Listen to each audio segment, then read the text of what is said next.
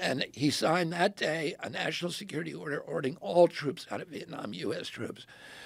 The first thousand over the next month, and then the rest by the beginning of 1965.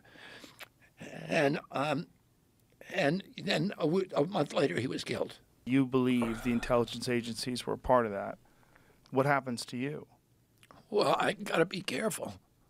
I mean, I'm aware of that, and I'm not. You know, I I'm aware of the of that danger, and uh, you know, I don't live in fear of it, um, you know, at all. But I'm not stupid about it, and I take precautions.